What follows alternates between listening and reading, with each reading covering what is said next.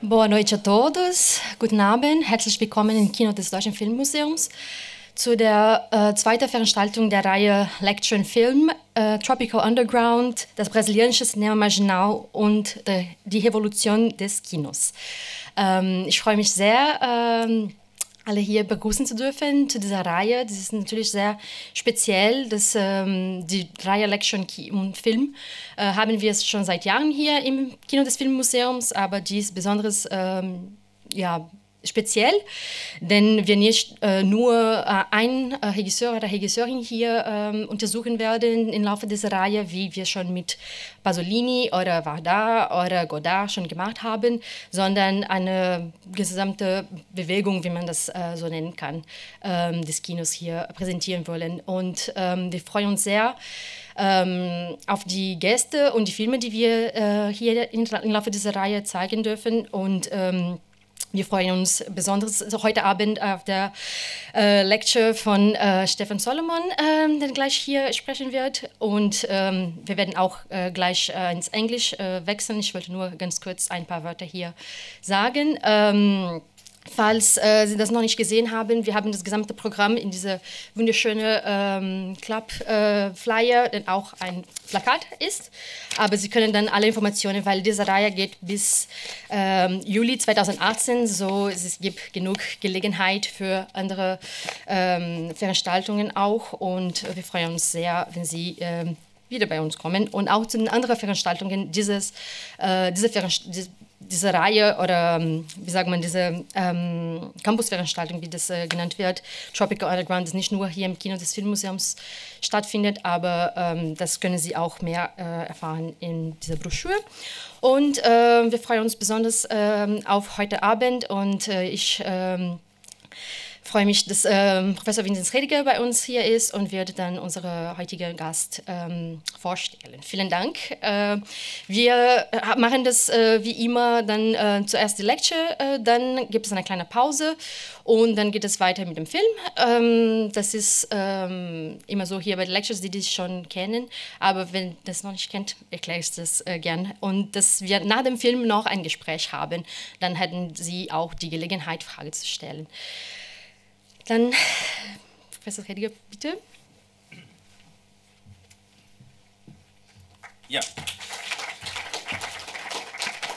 Danke für die Einführung und guten Abend auch von mir. And I'm going to switch to English uh, so as to introduce um, our guest.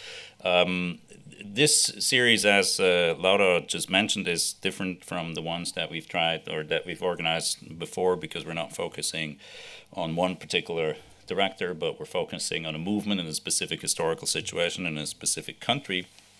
Um, and we do that because we believe it's it's a highly significant moment and a highly significant movement, one that helps us understand the logic, uh, the cultural logic of globalization, if you will, in a particularly instructive uh, uh way.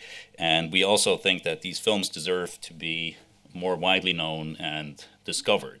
Um, there are there, you know, the, the, the cinema marginal is called marginal for a reason.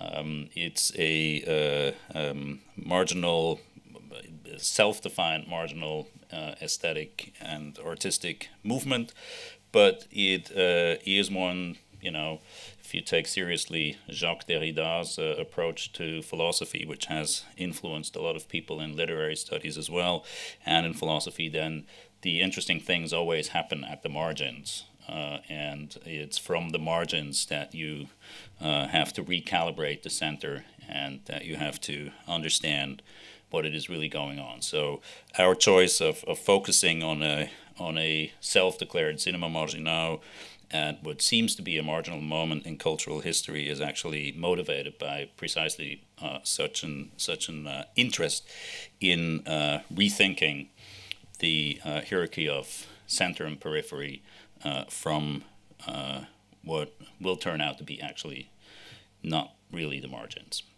Um, when we put out, this is a, a bit of self congratulation that you're going to have endure now. Uh, when we first put out the program in the usual social network forums on Facebook, somebody who knows quite a great deal about Brazilian cinema commented on our lecture and film program well, they have all the essential films and they have the best speakers. Um, and I thought, yeah, that's right. We. Uh, we did our homework, and uh, that certainly uh, also goes for tonight's speaker, uh, Stefan Solomon, who comes to us from the University of Reading, where he is currently a postdoc researcher in a large scale um, uh, interdisciplinary project on Brazilian cinema. Um, called Towards a Intermedial History of Brazilian Cinema, exploring uh, intermediality as a historiographic method. And um, Stefan's uh, particular focus in that project is on the uh, Tropicalia movement and its um, consequences and reverberations in Brazilian cinema. Uh, Tropicalia, as you may remember from our first lecture in the series, is the title of a of an art installation by Hélio Oiticica, which became the label for a popular music movement moment in 1968 and then became sort of the frame of reference for Brazilian counterculture in, in the 1960s. And uh, Stefan is a true specialist for what we're trying to do here because his current work uh, really deals uh, with that particular moment in Brazilian history. Um, uh, Stefan Solomon comes to us from Reading, or we could say he comes to us via Reading from Australia because uh, he's uh, originally from Australia. He's a dual citizen, though, as I learned tonight over the dinner. So he's a European as well, even though some Brits don't think they're European or don't want to be anymore, but they are. Um, so he's a Aussie and a European, and he earned his doctorate um, from the University of New South Wales uh, with a, a, dissertation that has since been come out as a book with the University of Georgia Press. It has been published in August 2017, and this is a truly fascinating work. Um, it's on William Faulkner's Hollywood career, and it's called William Faulkner in Hollywood Screenwriting in the Studio. Uh, for the studios, sorry, screenwriting for the studios. So, uh, in addition to being a specialist on Brazilian cinema. Stefan Solomon is also a specialist on um, uh, screenwriting, on the screenwriting process in uh, the classical Hollywood system. And he's also a curator. Uh, he is currently curating a film series which is part of the project um, uh, that uh, he's conducting together and actually under the supervision of Lúcia Nagib, who will be speaking here in um, February uh, at the University of Reading. And he's currently curating a film program entitled Beyond Tropicalia. Um, uh, at the Tate Modern, um, and I think that's actually going to happen next week. And also, next week, or actually today, is the date of publication of the book related to that film series which is a big book with 22 essays and a lot of historical materials and photographs, uh, which we will hope to, which we hope to have ready for you to purchase in the bookstore upstairs uh, at the next event of our Tropical Underground series. It's published by a Berlin publisher, so it should be easy to get here. Um, uh, and uh, we will make sure that you uh, you will be able to lay your hands on that book in the Frankfurt Film Museum bookstore. So, without further ado, um, I hand over the microphone to Stefan. I'm really glad you could make it here, and uh, we're very much looking forward to learning about what exactly terrir is.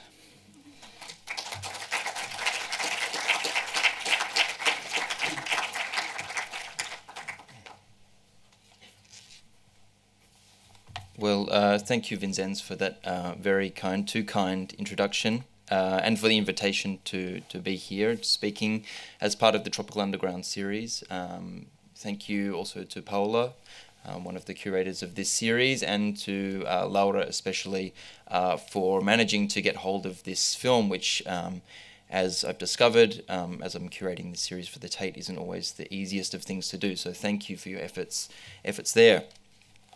Um, has already mentioned the project to which I'm attached, um, but by way of introduction, I'll just say a little bit about that, and you can find out more for yourself if you go to the website there. But uh, I've been working for two years now on this project, uh, which is a, another way of examining the history of Brazilian cinema. Um, I'm working with colleagues at my university, the University of Reading, but also colleagues in uh, Brazil at the University of São Carlos, uh, where we're doing collaborative work um, through a series of conferences, edited collections, um, and uh, events like the, the, the series at the Tate Modern that I'm curating. Um, and we're also restaging these uh, theatrical prologues that took place in Brazil in the 1920s um, as a precursor to films. And we're restaging those next year, both in uh, Brazil and Sao Paulo and in Reading as well. So we have a number of different uh, aspects of that project. Um, but before all else, our focus is on uh, intermediality, on this term, um, the idea that, um, in the words of Agnes Pethő, um, that cinema can, quote, incorporate uh, forms of all other media and can in- initiate fusions and dialogues between the arts. So we're looking at Brazilian cinema particularly as a case study in terms of intermediality, but this is a way um, that we can think about cinema more generally.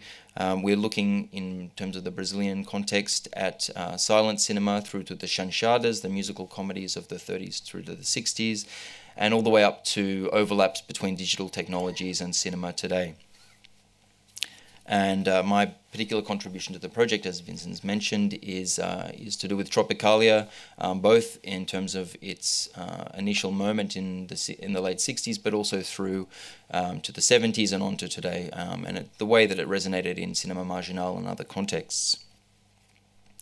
So, in considering uh, what I what I wanted to say about this film tonight, about Ivan Cardoso's um, O Segredo da Múmia, The Secret of the Mummy um, I was thinking in terms of intermediality, in terms of the various connections that this film has with other art forms, um, with particularly um, the plastic arts, with concrete poetry, uh, and with comic books. So there are a number of different connections uh, to this film. But when I saw the film for the first time, um, I was struck, as you might be, um, by how simplistic it appears to be um, as a genre film, because it is a genre film first and foremost. Um, and it seems to take itself not too seriously as something that's quite humorous, um, bawdy, and it plays into a myth, um, the myth of the mummy, which has been uh, trotted out countless times in the history of cinema, um, and it always has uh, that that story of the mummy always has a kind of whiff of the ridiculousness uh, of the ridiculous about it. But on the other hand, I think, um, and as I hope to show in my in my lecture, that this is a film that does want to be taken seriously in some respects. And Ivan Cardoso, um, even as a genre filmmaker, does want to be taken seriously in his work in, in genre, but also his work in uh, in the more kind of radical experimental sphere uh, and the overlaps that he that he kind of shows throughout his career between um, experimental and genre filmmaking. Perhaps um, this kind of observation about genre filmmakers is self-evident. All genre filmmakers, or a lot of genre filmmakers, do want to be taken seriously as genre filmmakers, um, even if their films don't appear to be serious. Um, but I don't, and I don't think that The Secret of the Mummy requires any special pleading from me or from anyone else to be enjoyed as a genre film, as a as a film about um, a mummy, um, and it certainly is worthy of, uh, of, of, the horror comedy or, or, or, even just comedy status that it holds. Um, but on the other hand, and especially in the context of this series, I thought that it would be interesting to think about it in terms of um, both the cinema marginal movement, uh, in terms of Tropicalia, which I'll allude to but might discuss later in question time, and also to other art forms which are perhaps taken more seriously. So, as my title suggests, uh, Ivan Cardoso uh, was the self-proclaimed mestre do Terrir, the master of Terrir, um, a genre that he he uh, he invented essentially, which combines uh, terror and rir um, to laugh. Um, so essentially, uh, a version of horror comedy. And he modeled himself after um, Hitchcock. Hitchcock is the master of suspense, so Cardoso is the ma- um, mestre do terrir. Um, so there is this, this kind of obvious, I mean, interesting self-fashioning going on, but also quite um, obvious comedy comic element to his work. Um, but the, the elements of the work that I want to look at tonight are, are more avant garde, as I've said, and there are things that tend to disappear when we watch the film. They're not visible at all, they don't present themselves to us. So, elements of the plastic arts and elements of uh, concrete poetry, which are completely absent from the film. One of the um, one of the ways that this that this takes place, one of the ways that Cardoso uh, absorb, absorbed different influences throughout his career and, and into this film um, is because of the fact that this film was essentially uh, produced over an entire decade. So, uh, although the film was released in 1982 uh, as The Secret of the Mummy, uh, it also began um, as uh, A Mumia Volta a Atacar uh, in 1972 as a Super 8 film, The Mummy Attacks Again. Uh, and then it was revisited by Cardoso in 1977, um, titled O Lago, Olago, O Lago Maldito, The Cursed Lake, um, before he finally uh, worked it into a feature film. So Cardoso made two attempts essentially at working this mummy film into something finished. Um, neither of the two first attempts were finished, but in 82 um, it finally came out as a feature film. So there's this really fascinating production history that I want to talk about tonight um, to see how a Super 8 short could become something um, full length and Cardoso's first feature length film. So, The Secret of the Mummy is most obviously, I think, um, a film that depends on a long history of other mummy films. It finds its place in a lineage of uh, mummy films that begins in the silent era, but most obviously uh, for Cardoso derives from Karl Freund's 1932 film The Mummy for the Universal Horror Cycle. Um, but it also depends quite concretely on the four mummy films produced for RKO, um, three of which starred uh, Lon Chaney, and which I'll refer to shortly. Um, and in addition, he was certainly influenced by Terence Fisher's 1959 uh, film The Mummy for Hammer Horror um, and to a, a, far more, perhaps far more obscure film, Revenge of the Mummy, from 1975, a Spanish production featuring Paul Naschy, who was a prolific um, horror and B film actor who went on to star in Cardoso's Werewolf in the Amazon um, from 2005. So Cardoso was also a big fan of uh, directors like Hitchcock and Val Lewton, among many others, um, Hollywood B directors in general as well, and he lovingly and openly flags his connections to their work in his film. And in fact, if you look very carefully uh, in one of the opening scenes of uh, The Secret of the Mummy, you'll see a very short snippet of uh, Hitchcock's film Suspicion, uh, starring Cary Grant and Joan Fontaine, which is being played on a television.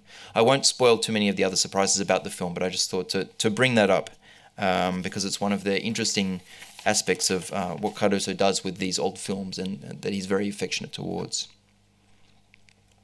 Closer to home, Cardoso was obviously influenced by the first established director of horror cinema in Brazil, uh, José Mojica Marins. So Mojica created the nefarious uh, Zé do Caixão, or Coffin Joe, um, character played by the director himself, an undertaker who is hell-bent on continuing his bloodline and emerges in various films over uh, Mojica's career. Mojica directed a number of films, in fact, uh, featuring the character, um, but they also spawned a series of comic books as well as television and radio spots, um, so he's truly a, a multimedia kind of character. The first Coffin Joe film, uh, At Midnight I'll Take Your Soul, was released in 1964, um, the same year in which Brazil's democratically elected president was deposed in a military coup. Um, and some scholars have seen in the sadistic violence of Mojica's films uh, an allegory or a building allegory of the kind of torture that dissenting voices face, especially towards the end of that decade. And indeed, uh, Mojica himself would face censorship after 1968 with his uh, 1970 film Awakening of the Beast, um, uh, never allowed to show in cinemas essentially uh, under the dictatorship. Mojica offered a protagonist for his films who, in his brutality and lack of pity, was completely unsympathetic but at the same time um, positively alluring, especially as a, this iconic inaugural horror figure for Brazilian cinema. Um, Cardoso took quite a different path, but he became friends with Mojica and was quite obviously influenced by him. And in The Secret of the Mummy, you'll actually see Mojica starring in one of the early uh, early scenes of the film. Between, uh, so I'll just tell you a bit about uh, Cardoso's career now. Um, between 1970 and 1975, uh, he directed um, around 40 Super 8 films. Um, these films comprised of medium and short, uh, medium length and short films, as well as trailers, documentaries, um, clips, um, including music clips and other fragmentary pieces. Um, they often combine shocking and comical elements, as well as combining black and white and color color film stock. And they were known collectively as the Quotidianas Kodaks. Um, and you can see in the top there um, that, that title, Quotidianas Kodaks, um, which was a name that he took from the chronicles of a Bahian writer, uh, Pedro Kilkerry, who earlier in the 20th century had uh, used that name for a series of um, series of observations of daily life that he conducted, um, which combined the sense of a journalistic piece, the the quotidian, um, with the codex, the, so as, as a snapshot of daily life. So, from the very beginning of his career, um, Cardoso was already making a concerted effort to devise his own brand and, and had this kind of idea of self fashioning as a director who was of limited means and limited resources, but uh, also wanted to be well known and um, was able to quite successfully achieve that. So, the the uh, Quotidianas Kodaks brand, if you will, um, was his original um, invention. And on the right, uh, the Super 8 logo was devised by Oscar Ramos, um, his visual designer that he worked with. And these um, kinds of icons appear um, in a lot of, well, in all of uh, Cardoso's Super 8 films and then on into some of his feature length uh, works later on. Watching his films, you'll also note um, various scratches on the celluloid um, that are put there by Cardoso himself and inspired by Mojica Marins, who would do the same thing. Um, as well as uh, countdown on the leader, which you'll see at the beginning of some of the films, as well as sprocket holes, and even an image of the famous China girl um, before the film begins. So he has, even within his genre filmmaking, these kind of avant-garde gest- gestures that um, mark his work as, as kind of lo-fi, but also um, consistently stamp his authorship over what he's doing um, all throughout his career. In his Super 8 phase, Cardoso most famously made uh, the film Nosferatu no Brasil, uh, Nosferatu in Brazil, um, in 1971, uh, which was a medium length film starring the tropicalist poet and column- columnist uh, Torquato Neto um, dealing very very early on with one of the staples of the horror genre. So Cardoso was um, obviously interested in horror from from early days, um, but putting a deliberately Brazilian spin on F.W. Murnau's 1922 classic film. So Neto played a hippie vampire who preys on young women, um, at first biting and later learning to seduce them um, more successfully as he traverses the beaches of Rio de Janeiro. At one point in the film, um, so this is a this is kind of an instance of this combination of genre and horror. Um, Cardoso appropriates a line from a poem by Affonso Avila as a kind of trick that was intended to modify his images in the mind of the viewer in a way that Super 8 film uh, was incapable of achieving. So Avila, who once wrote a line that read "Onde se, se vê isto, veja-se aquilo," where you see this, see that. Um, Cardoso appropriated for his own film "Onde se vê dia." Veja-se noite, where you see day, see night. So this comes at a certain point in the film, uh, where, of course, Cardoso filming on Super 8 uh, with no lighting rig to support him cannot film at night. Uh, he merely substitutes in these uh, this this line of concrete poetry or this line of poetry uh, to to do the work for him. Um, so Murnau's original film, if you've seen it, uh, famously used colored filters to dif- differentiate between day and day and night. So Cardoso was also kind of gesturing back towards um, the history of horror filmmaking, but also thinking about the transformative capacity of words um, to change images in the mind of the viewer in a way that actually film couldn't do for, for Cardoso at that point. And it was a kind of playful strategy that he'd repeat um, throughout his career, and I'll make mention of it again later. So it particularly derives as well from Brazilian concrete poetry, a movement that uh, emerged in the 1950s um, and which sought to bring the written word into the realm of the visual by em- emphasizing the pictorial, pictorial qualities of typographical arrangements, um, often using different permutations of the same repeated word to make a visual gesture. So a key example of, uh, of concrete poetry is uh, the poem Luxo Lixo by Augusto de Campos, uh, which coordinates repetitions of the Portuguese word for luxury, luxo, um, in such a way that it forms as a whole the word for garbage, lixo, its opposite. Um, Cardoso, who was friends with Augusto de Campos and his brother Haroldo, as well as another poet, Decio Pignatari, and he would work with them on a number of occasions, um, draws upon the desire of the word in concrete poetry to become an image. Um, and here in Nosferatu no Brasil, in deliberately suggesting that day is night um, via words, and also suggesting in another slide that 1970s um, Rio de Janeiro is in fact 19th century Budapest. Um, Cardoso intentionally makes a virtue of the fact um, that he's of limited resources and makes a virtue of his um, limited financial means as well, um, precisely by gesturing towards this uh, avant garde movement. A year after Nosferatu no Brasil, uh, while still working in Super 8, um, Cardoso would also make the first of his three mummy films, The Mummy Attacks Again. The film was first motivated by what Cardoso saw as a sarcastic suggestion by his friend, um, Eduardo Viveiros de Castro. Um, Viveiros de Castro, uh, who you'll hear uh, more about um, certainly in this series, but uh, you also have the opportunity to to engage with an exhibition of his work, his photographic work soon, and, and indeed hear from him in two weeks' time. Um, was at that time uh, a 21 year old anthropology student studying at the National Museum in Rio. Um, and he came to Cardoso one day and said, quote, I think you should make a mummy film. The character will be yours alone. No one wants to make a mummy film in Brazil. Um, so perhaps on a very basic level here, without wanting to speculate too much, um, the particular suggestion of the figure of the mummy for Viveiros de Castro calls to mind certainly some of the anthropological aspects of mummy films, um, which deal with the colonial presence of British and American uh, explorers and grave robbers in Egypt. Uh, the migrations of Egyptian characters to Western countries, um, the clash of different regimes of knowledge, um, and the efforts of colonial forces to interpret, to quantify, and to catalogue that which does not belong to them. But here, um, the mummy appropriated to the Brazilian context would mean something quite different. Um, and Cardoso, I don't think, was considering its anthropological dimensions much in the way that he used it. Um, he more saw it as a, as a kind of opportunistic way that he could put his stamp on horror cinema in Brazil. The entire complete film, uh, or incomplete film, I should say, was uh, 25 minutes long. But only snippets of that film are available because it, it was not uh, completed as he as Cardoso would have preferred. Um, and like Nosferatu in Brazil, before it consists of a series of uh, mostly improvised uh, improvised performances. Um, there's no script for this film, as for most of uh, Cardoso's Super 8 films, there's no script. Um, there were a series of characters or scenarios that, that, that would be performed, but there's no script as such. Um, but it's very a, a kind of episodic film.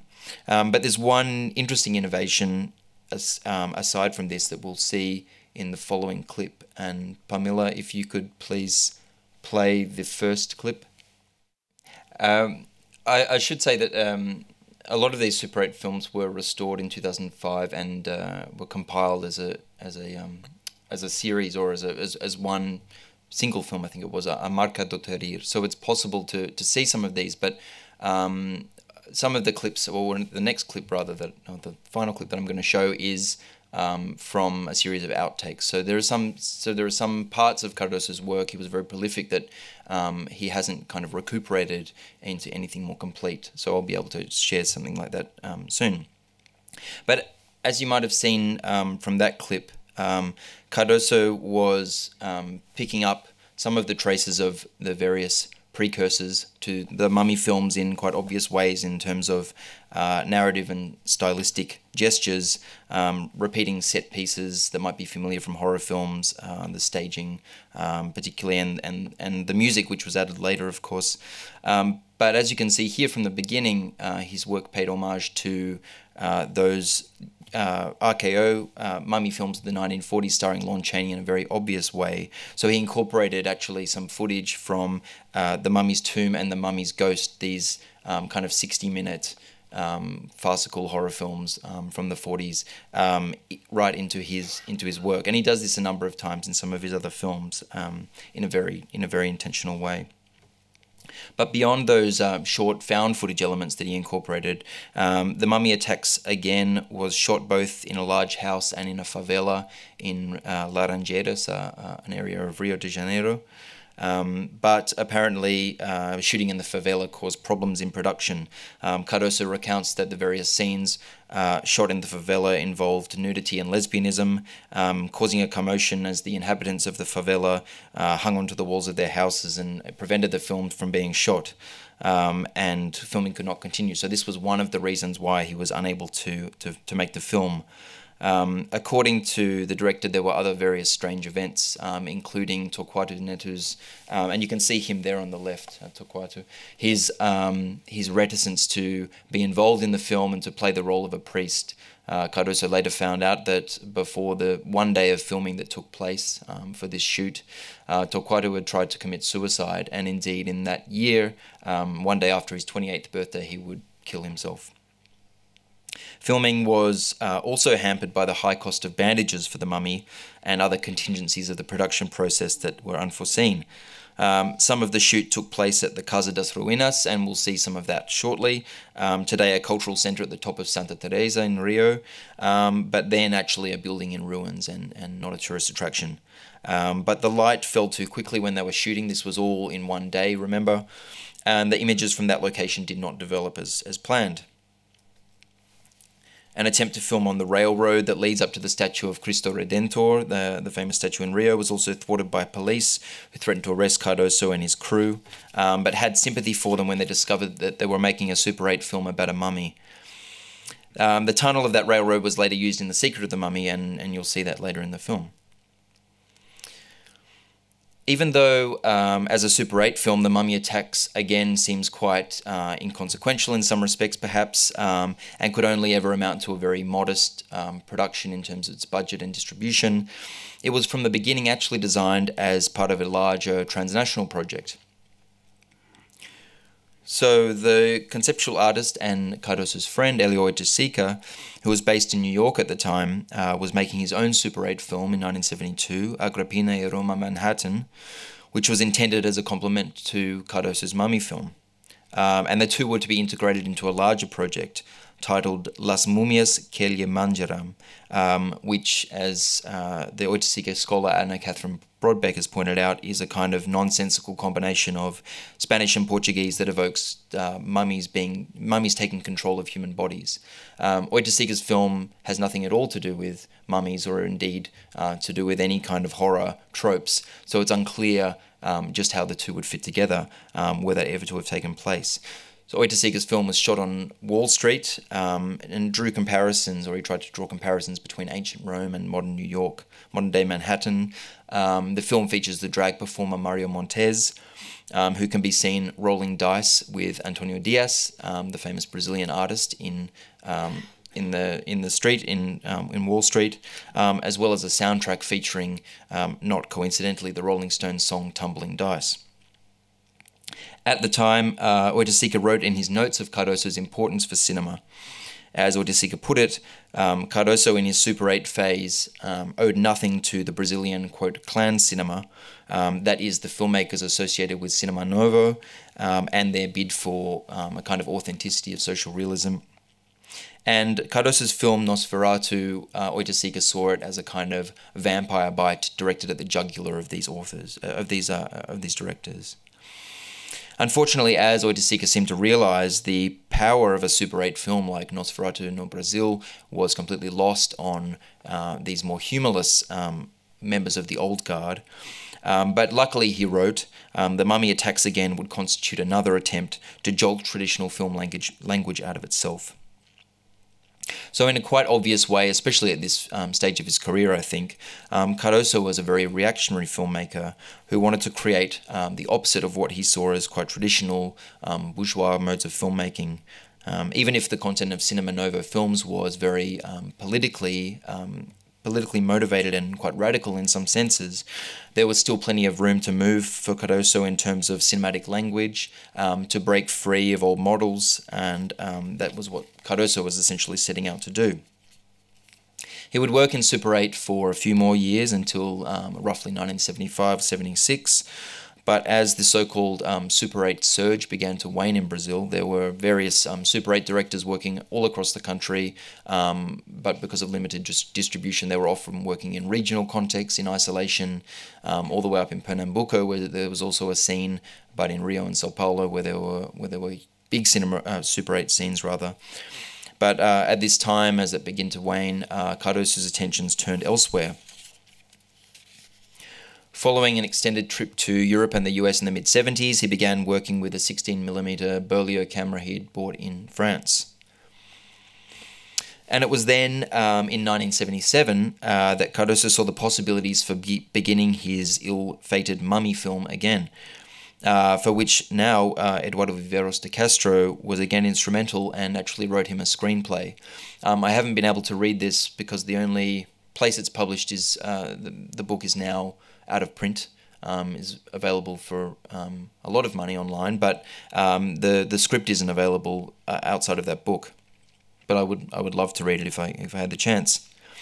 So this film uh, was inspired by a comic book um, that Cardoso found, and which I haven't been able to track down either. Um, but it also drew on the early inspirations of the Mummy attacks again, um, but now with the added possibilities of a script by Viveiros de Castro, which was a relatively new um, venture for Cardoso. Even with the script, however, Cardoso already had many of the scenes mapped out in his mind. As he writes of these impulses at the time, quote, I am hypnotized by certain cliches of genre cinema. Even when I shoot with a script, I create scenes and situations just to recreate these images. The genre film has its own grammar, developed by Hollywood. You need to follow it to the letter to properly develop each sequence. So, while finally beginning to make uh, his mummy film that was not completed in 1972, Cardoso was also throwing back to, um, to films from Hollywood history. Indeed, uh, one of the films that he mentions in this context was Sam Fuller's um, Shock Corridor. This is Cardoso here with Sam Fuller in Barcelona in 1984 when The Secret of the Mummy premiered there. Um, and Cardoso, having seen Shock Corridor, noted that um, one of the films, uh, one of the sequences in the film, the, one of the few color sequences, which only lasts for all of about five seconds, was filmed at the Iguazu Falls in um, Brazil.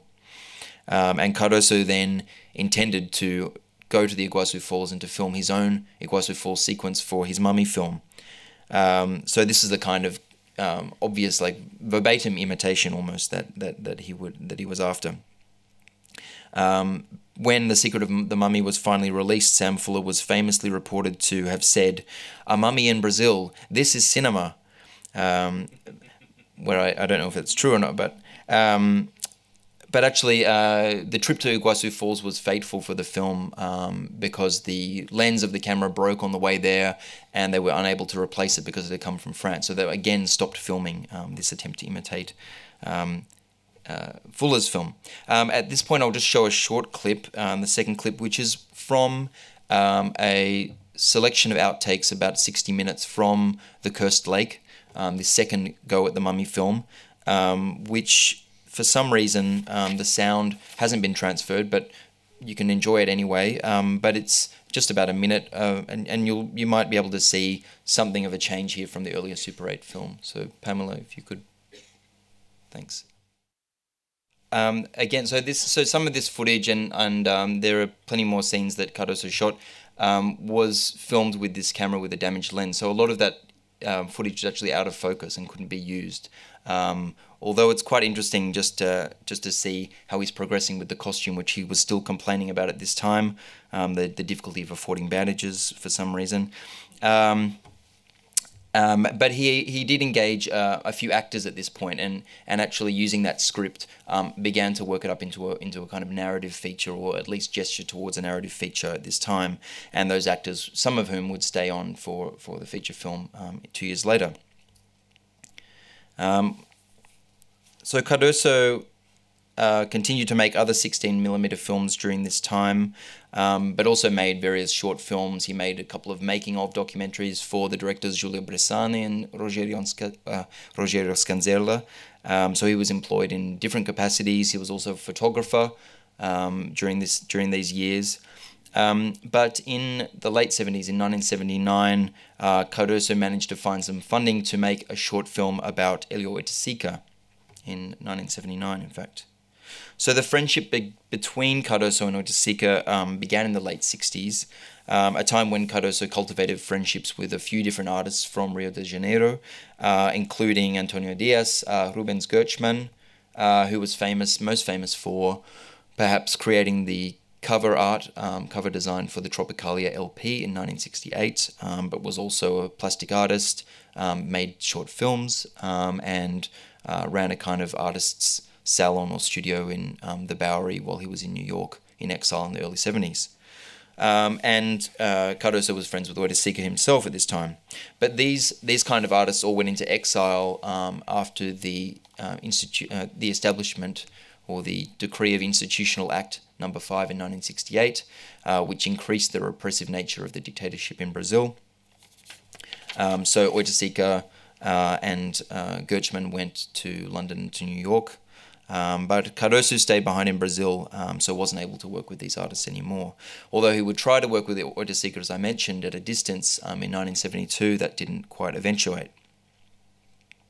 But when Oiticica, and this is Oiticica in London um, in 1969 at the Whitechapel exhibition that he held there, and um, again in New York on the subway um, with one of his parangoles, a cape that he designed. Um, when Oiticica returned to Brazil um, towards the end of the 70s, there were other opportunities for him to be involved in cinema, um, both as a plastic artist and in a new role that he requested of Cardoso, especially as an actor.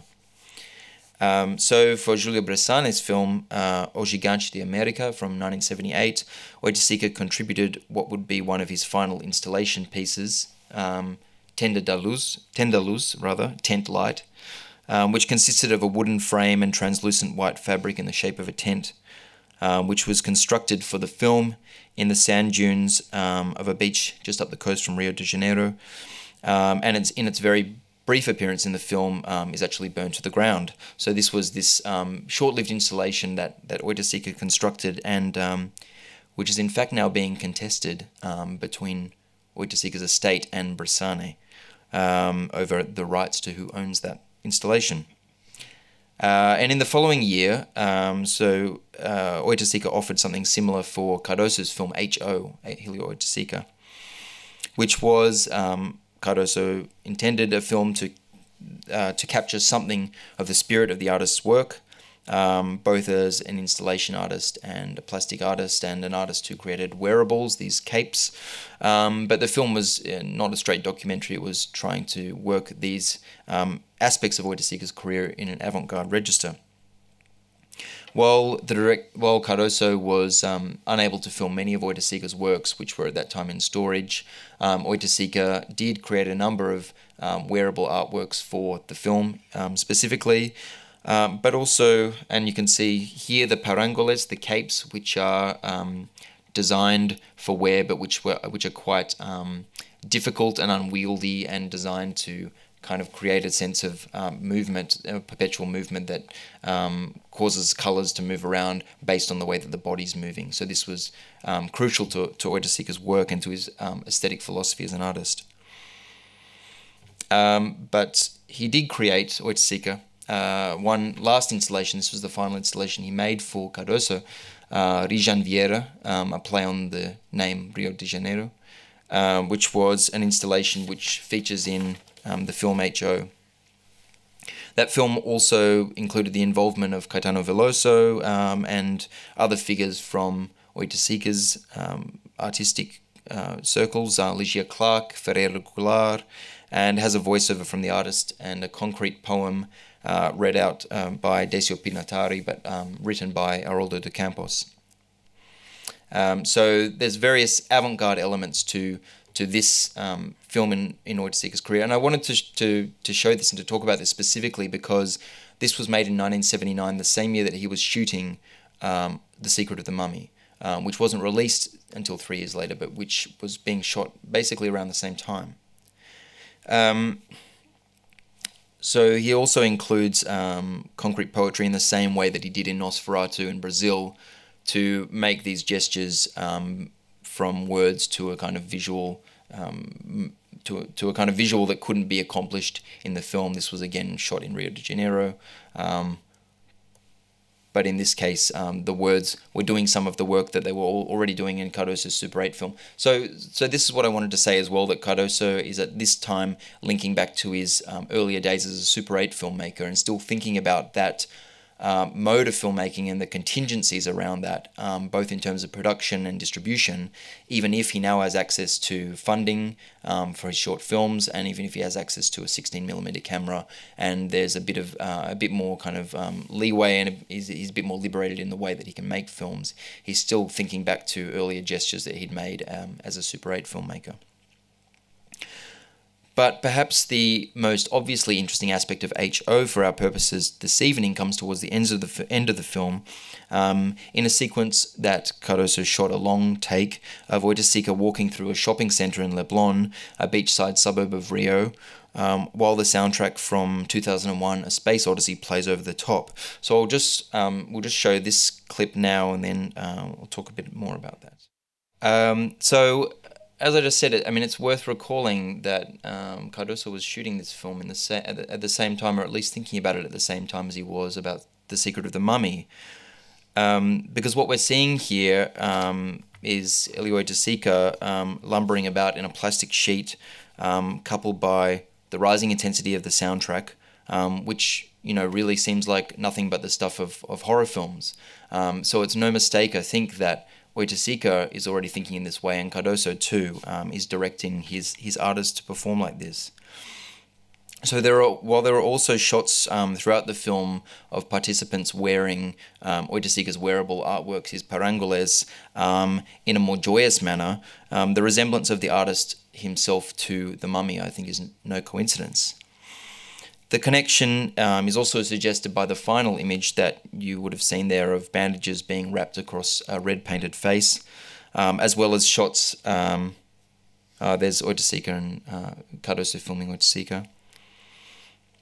As, uh, as well as shots like this one, um, and that recur, recur a number of times throughout the film, um, in which coloured filters and meshes um, were passed across the camera in front of Oiticica's face.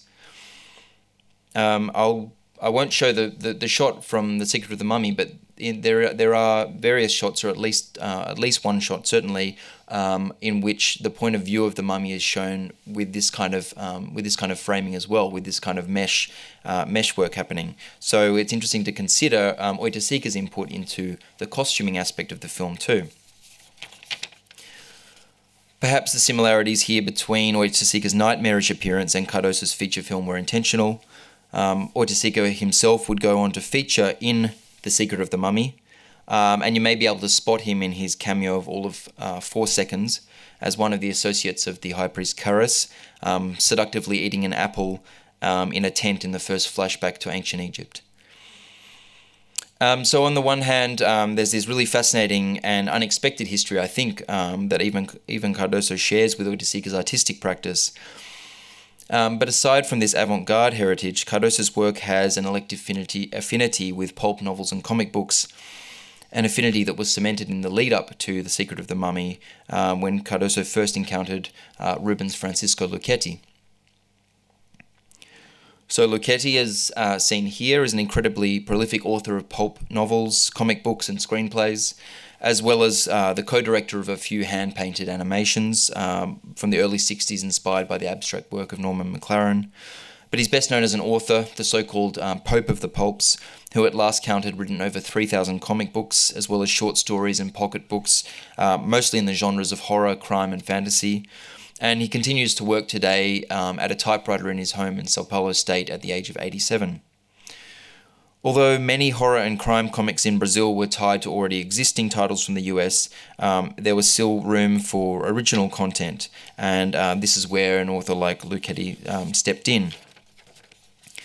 Especially when uh, US comic series were discontinued, um, Brazilian authors and artists often were able to take on or uh, reappropriate uh, certain certain titles and certain series and characters for uh, a Brazilian audience. Uh, Lucchetti uh, especially worked in this kind of um, landscape where uh, Brazilian artists and writers were called on. And he introduced various social concerns to his work um, that were particular to the Brazilian context, drawing on poverty and inequality. and also thinking about the impending military coup in the 1960s when he was writing. It was in the 60s also that Lucchetti would begin working with Jose Mojica Marins, um, writing screenplays for his films as well as comic book adaptations um, of the films that came that were released afterwards, and original comic stories based on the Coffin Joe character. But working uh, long after the golden age of comics in Brazil in the 50s and 60s, um, continued to work in the comics industry.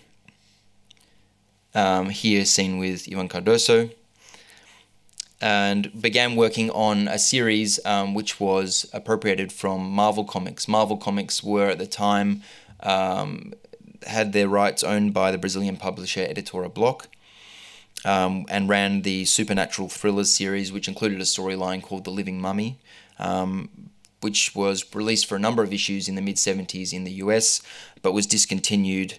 Um, even though uh, it was continued in Brazil um, by the publisher.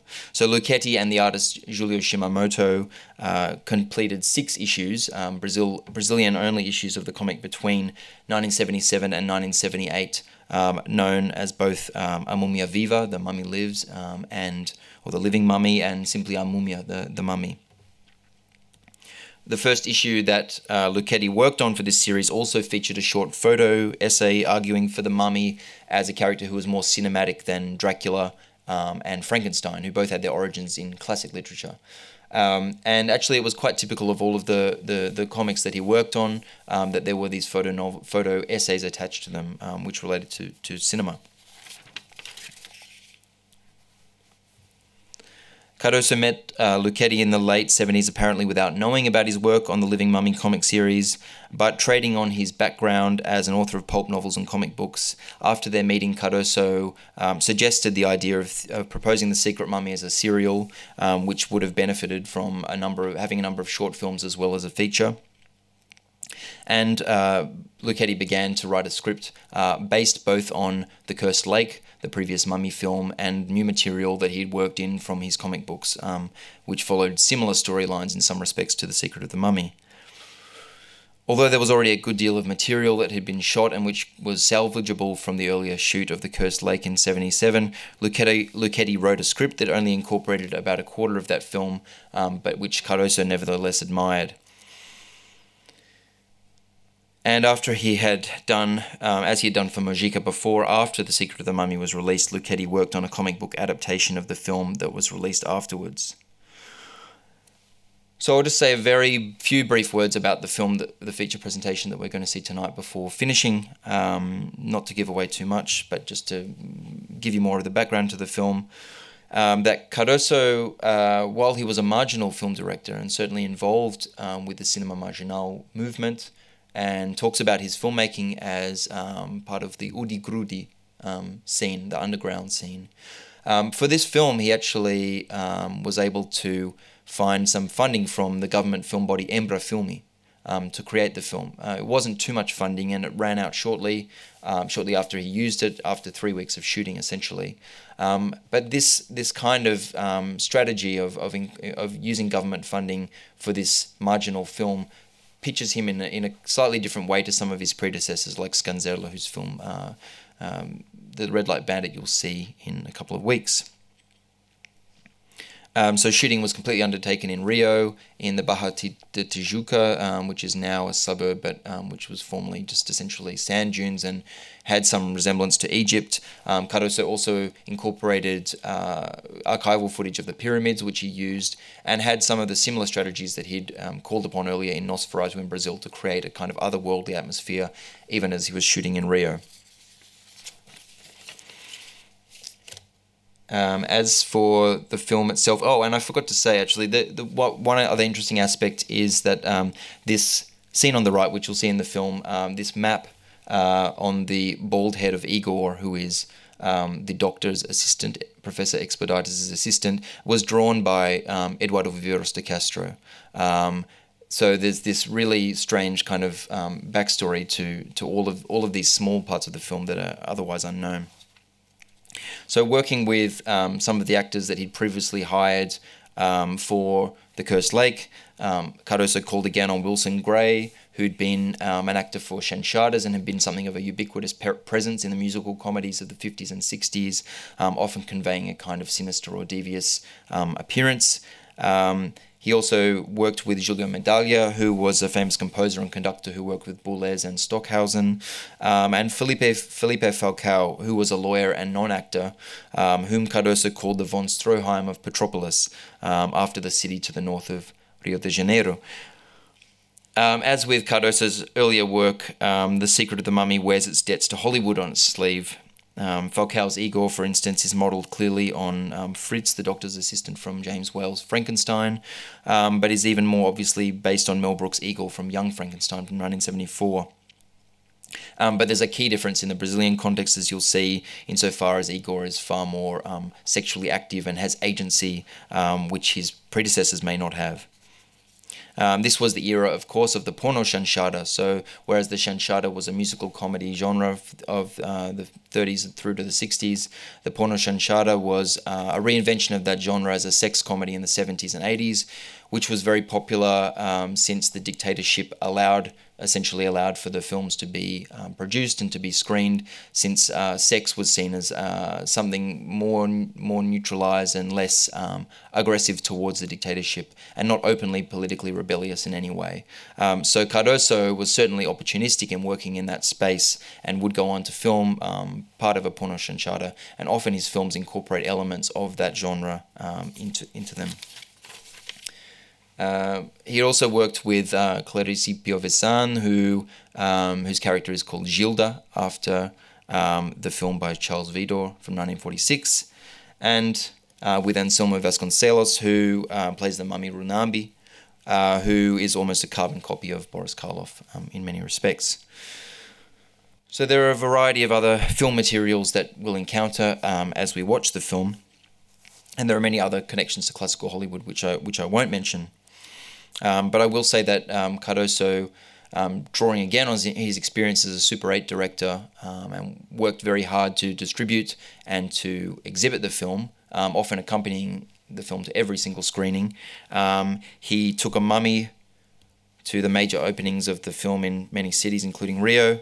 Um, and yeah, called upon his, his strategies of, uh, of Super 8 exhibition in that way to to to um, to make the film a success.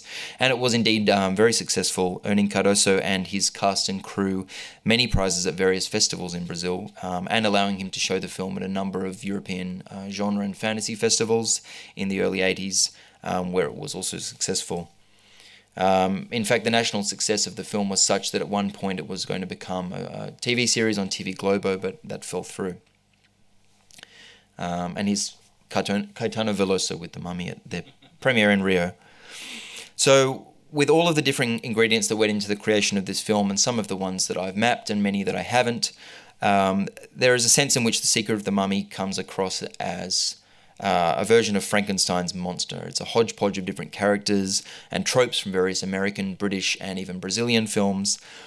But like Frankenstein's monster, it too wants to assert its singularity as a film. Um, it wants to say that even as a horror comedy, um, even in the most ridiculous of ways, that we can also try to take it seriously.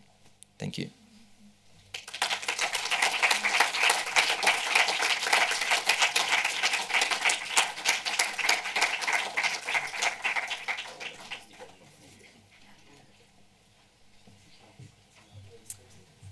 Thank you so much, um very, very interesting, and we're all very much looking forward to seeing the film. But we'll make a short break now, five or ten minutes, uh, just in case anybody wants to go to the toilet or get something to drink, and then we'll proceed with uh, O Segredo da Múmia. Thank you.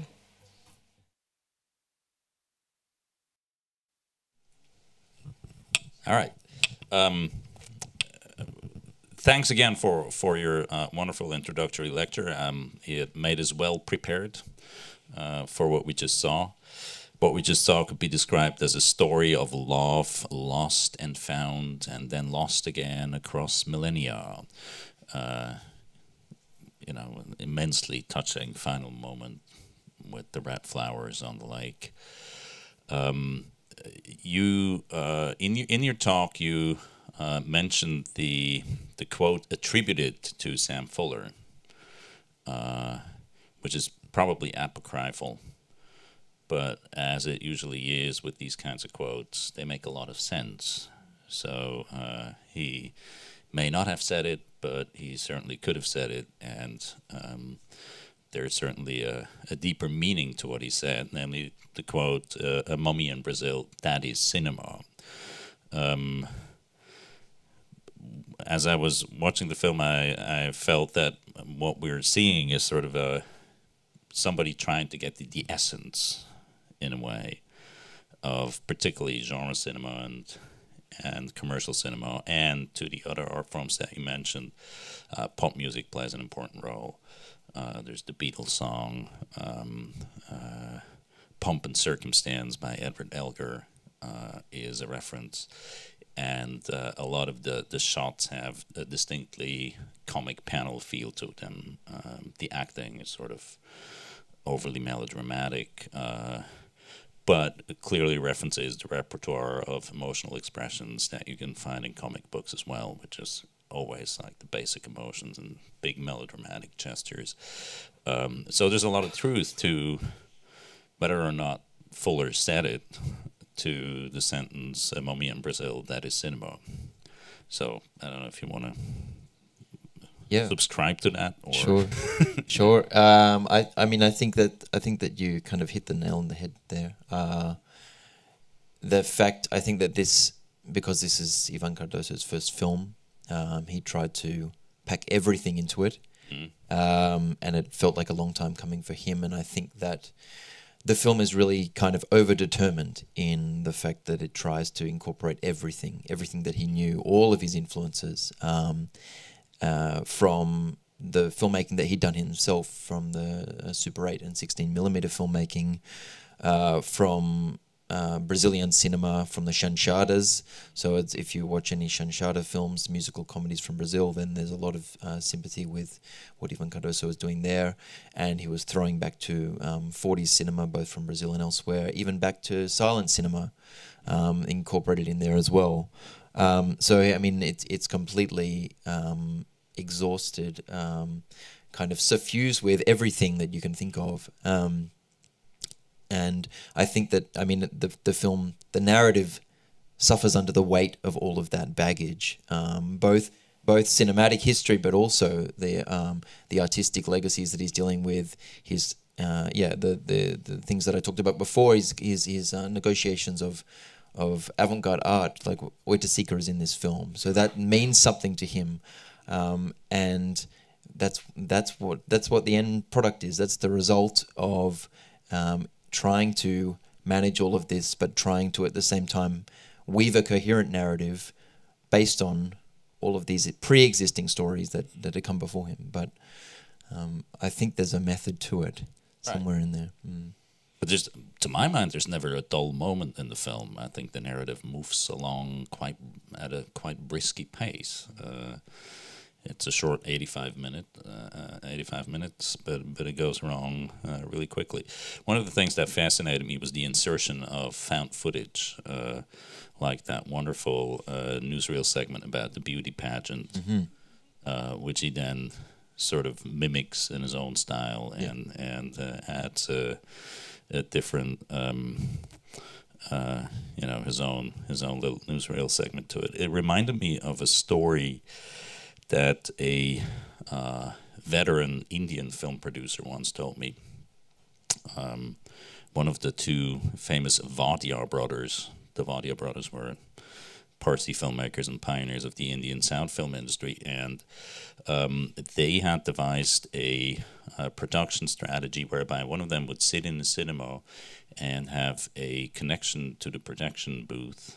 Uh, they could pull a little cord and then a bell would ring and the projectionist would insert a little paper slip in the print as it uh, rolled and uh, if you know the bell rang again there will be another slip and in between those two slips were the scenes that were then cut out of the print to be reused in a vaudeville film uh, so that's they, they watched american films shown in Indian cinemas, and you know there were all these big action scenes that they didn't have the money to produce, so they simply cut them out of. That's what he told me. Um, another perhaps apocryphal story, but they cut them out of American distribution prints and inserted them in their own films. So they made an internegative and and uh, uh, used used the big action scenes, borrowing the production values of American films, and. uh, I mean, one of the things that, that we're trying to accomplish here is to make clear that there are many histories of cinema uh, that have not been properly told yet, and I think this is one of them. And the Wadia brothers story uh, belongs to that, and and it, it you know it I'm I'm bringing this up because it points to a similar production environment. Uh, this is someone who clearly doesn't have a lot of money, uh, but desperately wants to make a film, and works with it whatever he has, and in the end, he has a film, and every single shot, you know, you sit there, you see the references. But they work as film shots, and the scenes work as scenes, and the narrative, to my mind, works as a narrative uh, so so it's really uh, from from scrap pieces and bits and pieces he manages to make cinema. So I don't know if you would would uh, agree with that kind of specific production logic that we're seeing at work here. Yeah, yeah. I think I mean he was doing that as I said as well from the early days from his Super Eight films when he inserted those scenes from the Lon Chaney Mummy films. He was already kind of thinking in that mode of found footage cinema we would call it nowadays.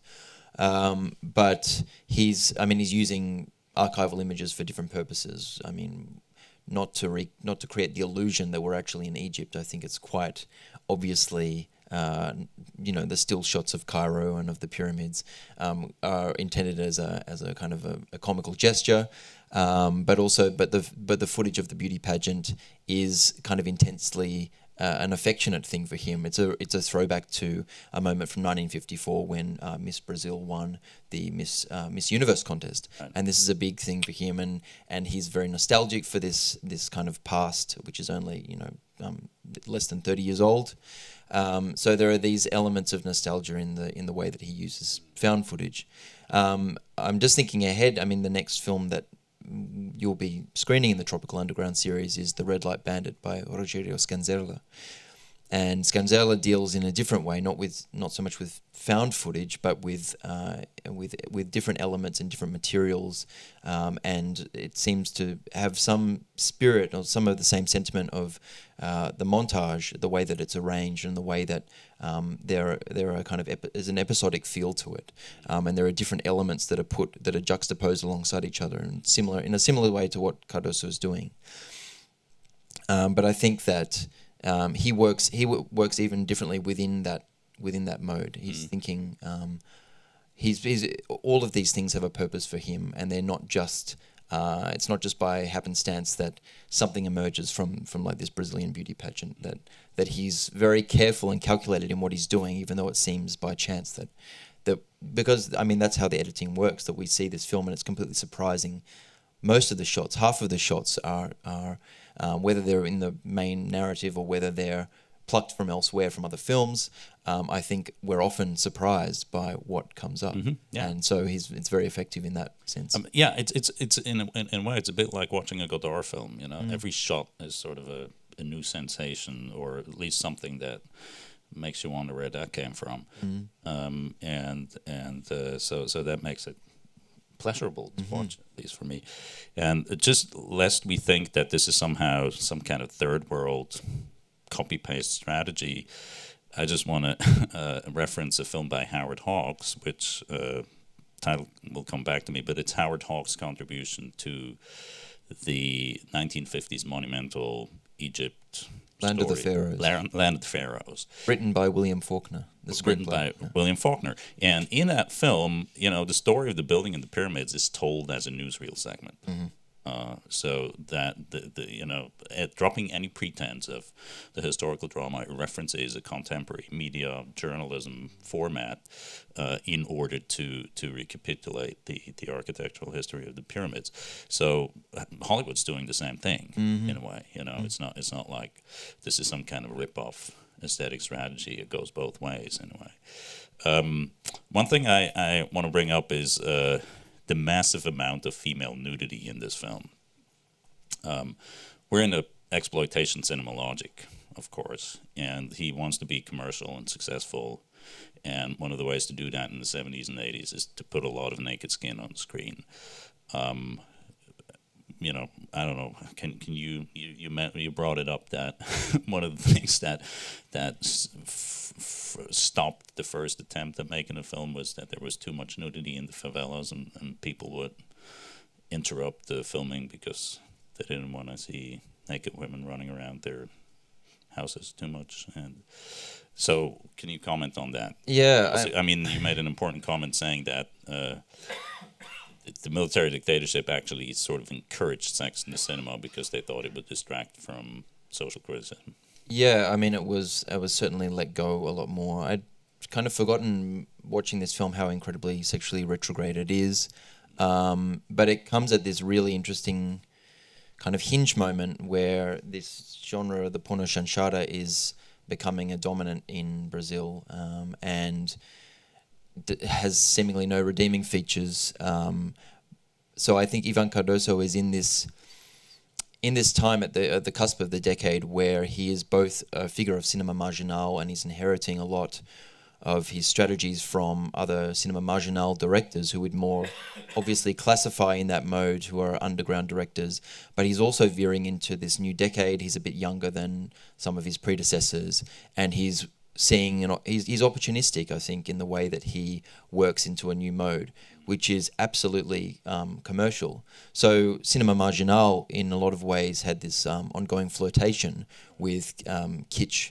um, and with hollywood Right. and with um, and with sex as well but not in the overt way that's available to cardoso in 1979 1982 um, and it's and it's quite interesting. I mean to to think about how he works. I mean, and it just gets more vulgar, more overt, overt um, as you go along in his filmography. Um, I mean, there, there's interesting ways to think about that. There's a fascinating film um, that just came out this year. It's a found footage film called Histórias que nosso cinema não contava, um, stories that our cinema didn't tell. It's a montage film made up of scenes from porno chanchadas but it mines those films for their political content. I mean, these films just seem completely um, just se- they're sex comedies, and there's nothing redeeming about them. But this film actually restores or locates something of the political value in their commentary on the dictatorship. Um, it's by Fernando Pessoa. It's a, it's a really amazing film. But I, I think that when you watch something like this, um, without the contextualization, it doesn't seem um, it doesn't seem very uh, very interesting at all. I mean, I mean, and it's obviously uh, that that kind of availability of sex and of the of that new genre um, diverts the narrative in very obvious ways. It creates moments for him where he thinks, you know, I'll just insert a scene here which which will kind of you know appease viewers or be more commercially appealing. So. Yeah, uh, which again makes you think of Godard and Contempt, where the famous bed love scene with Brigitte Bardot was inserted at the behest of the Yes. producers, and, and he just turned it into sort of an art piece. So let's open the discussion to the audience. Any questions from those who are still in here? Yes, please. Thanks for the lecture. My question would be um, Did Cardoso ever say that this was maybe something also like a self portrait?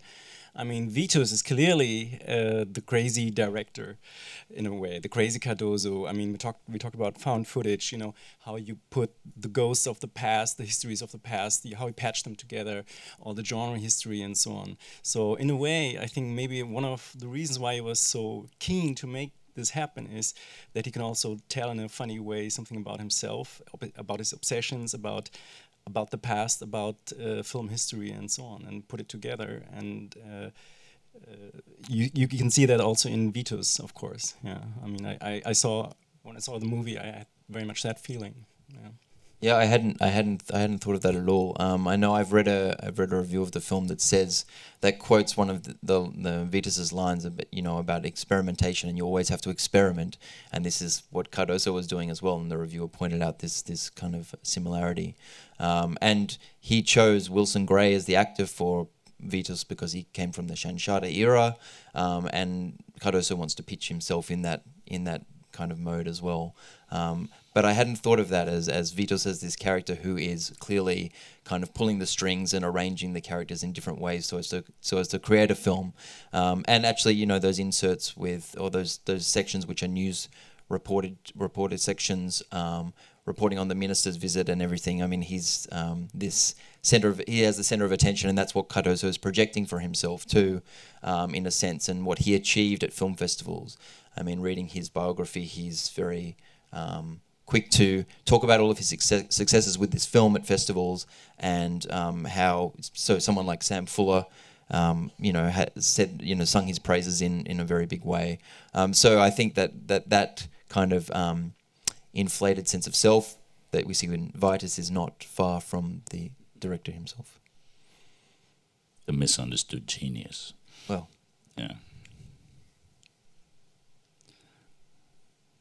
Yes. Any other questions or remarks?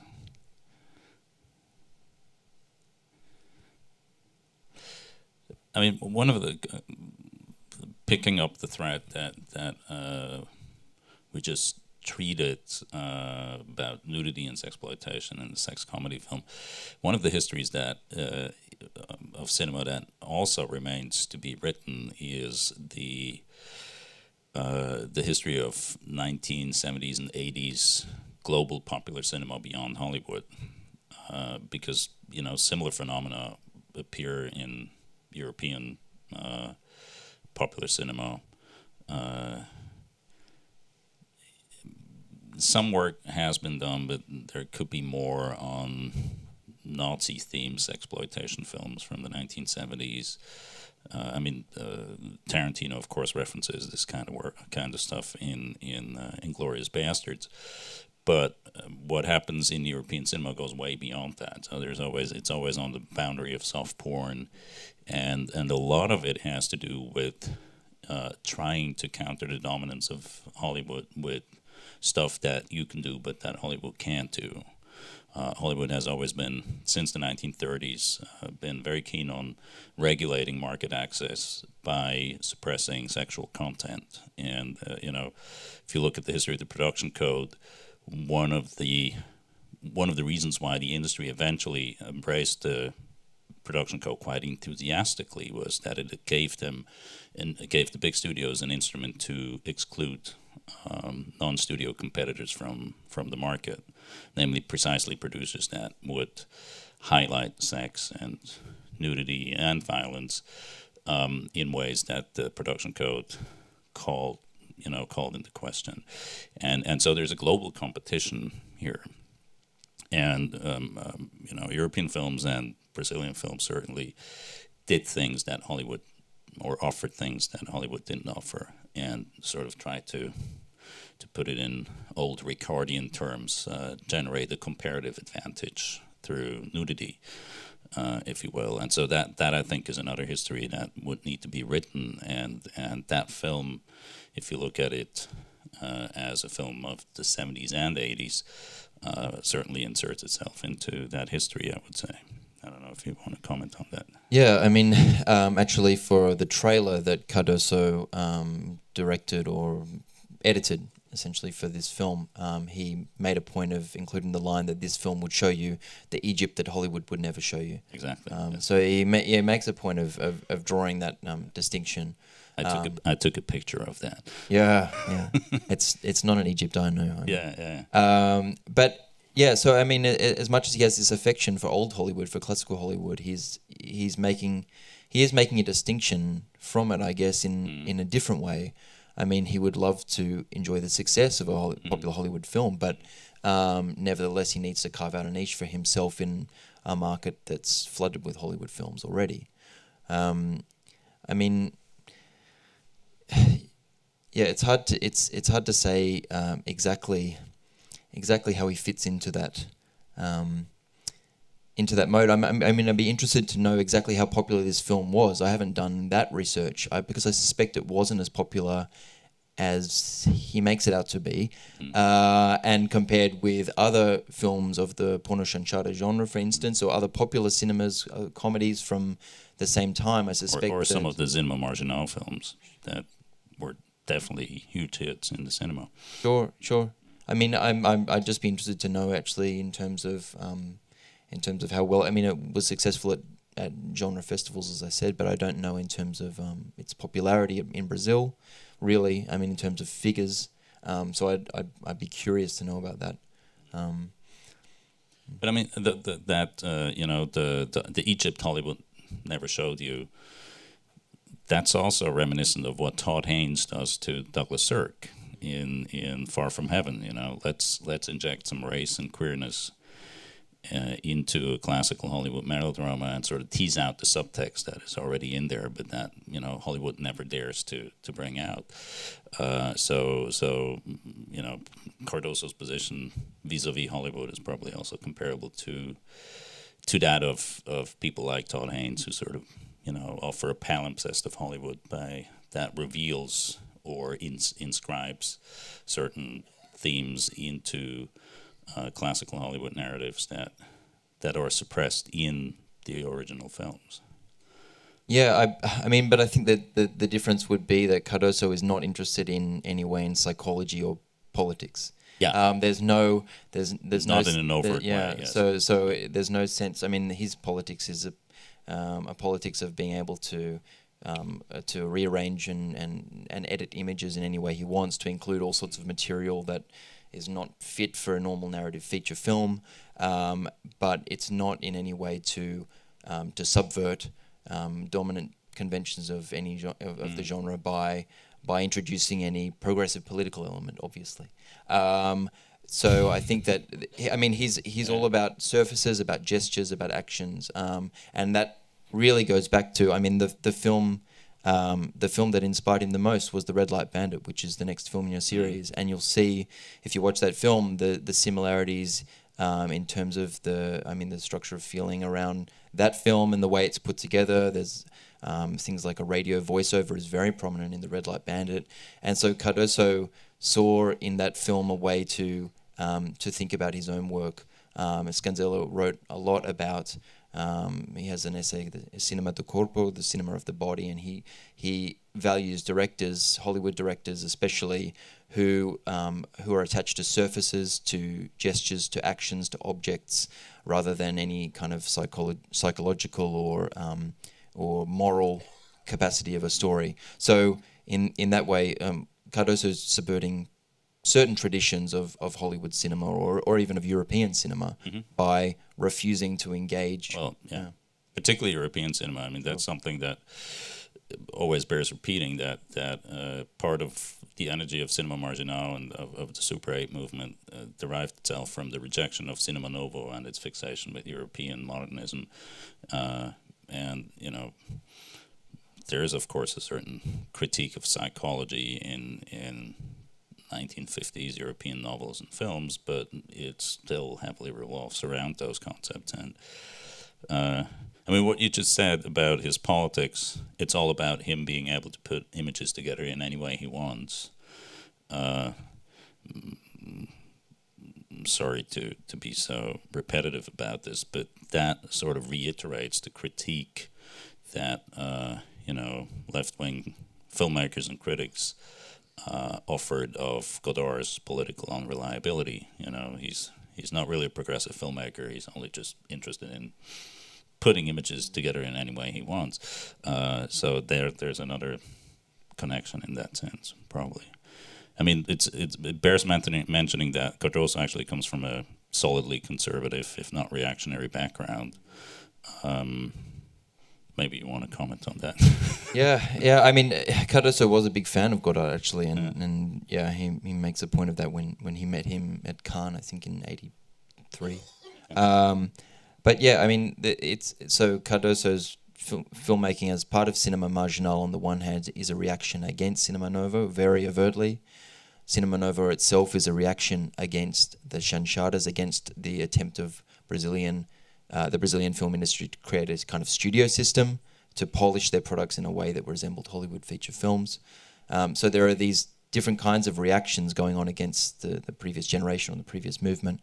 But then, as I said, I mean, Cardoso is slipping into another thing altogether. He's not a marginal filmmaker in the way that Sganzerla, Bressane, they were marginal filmmakers with no money with um, with plots that were far less uh, attached to any kind of ex- pre-existing narrative structure, um, and and also, I mean, there was a there's a big thing at the end of the seventies um, when Glauber Rocha, for his final film, The Age of the Earth, um, took money from Embrafilme, the government body, to to fund this. I mean, it was a re- very expensive film, but to fund his film, that was a highly controversial move because it's um, kind of paying lip service to the dictatorship by by taking money from from the government. And Cardoso was doing similar kinds of things. This film was funded by Embrafilme, and n- marginal cinema generally was not.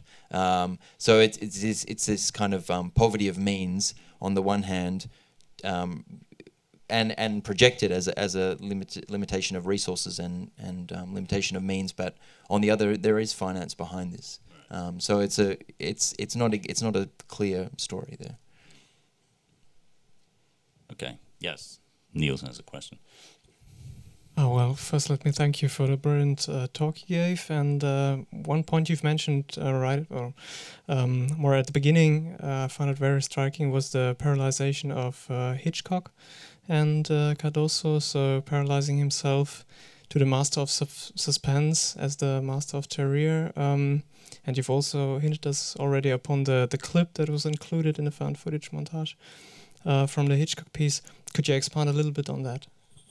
Sure. Um, I mean, did everyone spot that clip from Suspicion? I, I probably if I hadn't mentioned it, I, I had to rewind and work out the the film it was from based on yeah okay it's Cary Grant and it. But, but, but the glass of milk appears twice in the film, so yes, it's, yeah, it's, yeah, it's yeah. sort of a triple reference. Yes, so he he's he's very yeah. So it's not just the found footage element there, but um, and in his next feature, um, the Seven Vampires which is not at all about vampires. The cl- there's a club called the Seven Vampires. It's a completely misleading title, but uh, he features a clip of Hitch- Hitchcock from um, from Alfred Hitchcock Presents, I believe.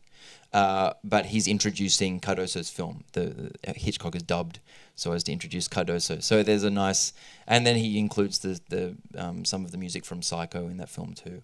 Um, so yeah, I mean I think, and actually, I think Cardoso makes a cameo at the end of that as one of the photo photojournalists taking a photo of the mummy in the lake. So he does have, although he doesn't appear, I don't think in his other films, he has this kind of uh, Hitchcockian kind of gesture towards, you know, the walk-on role of the director. But I, yeah, I'm not sure. I'm not sure that. I mean, his films are obviously not constructed in, in any of the way that a Hitchcock film is. He's he there's no suspense. Um, there's no suspense here at all. There's just every scene is just it's so episodic that there's no um, coherency in a way that Hitchcock would string us along at all. Um, so there's, I mean, the I mean it's it's an affectionate kind of throwback to to Hitchcock, but I mean there's not there's not too many connections other than maybe symbolic or or narrative connect small narrative connections, but not um, sustained.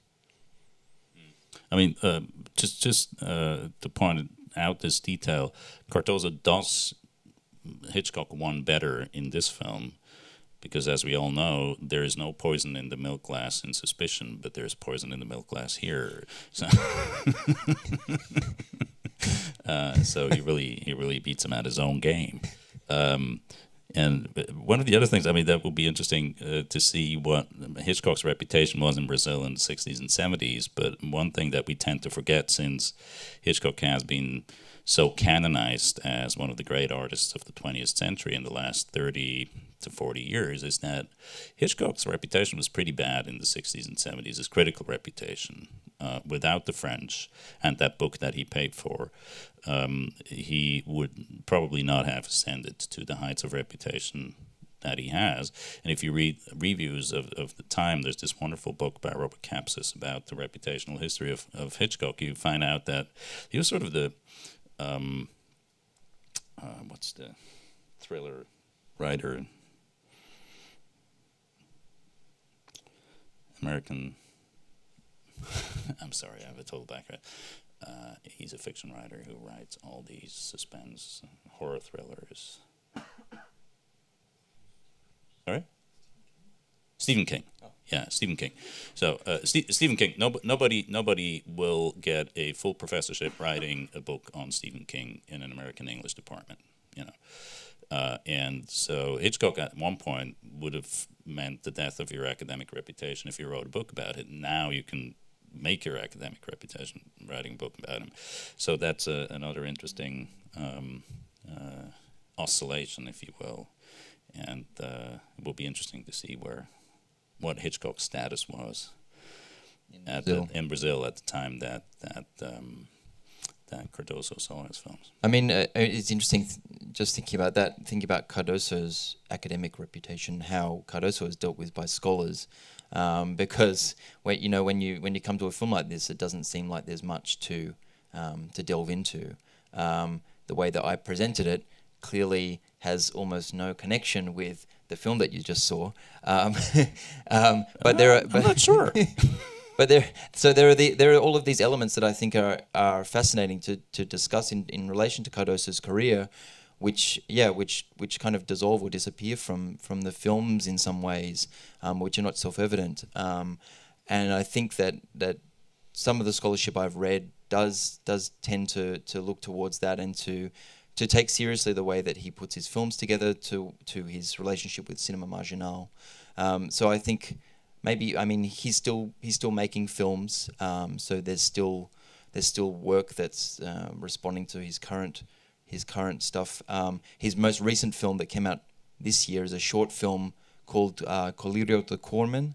Uh, it features Roger Corman, um, the famous B movie producer director, um, dropping um, eye drops into Cardoso's eyes, um, and then Cardoso has this reaction and he goes crazy and he has this kind of it's this hypnotic spiral that you would have seen in the film. And then he just uh, imagines all of these images from films that he's previously made uh, while Roger Corman's standing over him with the eyedropper. So so he's he's continuing to yeah I mean he's continuing to think back again to his older work um, and also to older directors producers like like Corman people who who he admired from from B movies so I just I, I don't think you should um, minimize your contribution here. I think what you presented has a lot to do with the film that we saw. Uh, and I, uh, if I if I may add that, I don't think the question of whether or not Cardoso be, can be canonized as an important filmmaker is really the most important question that No, we can ask about his work. Uh, it's really more a question of alternate film histories, and I think you you gave us a very very good point of entry Well, into one of those histories with your talk. So, do we have any more questions? If not, I suggest we call it a day. Thank you so much for coming and for uh, introducing us to the rich and wonderful and strange world of Ivan Cardoso in such a competent and multi-layered layered way. Uh, I think this was uh, very a very helpful station on our path into uh, the the underworld of cinema marginal.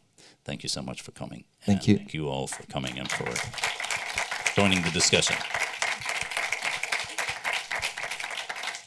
Thank you so much, uh, both of you. Thanks so much, Stefan, for being with us today.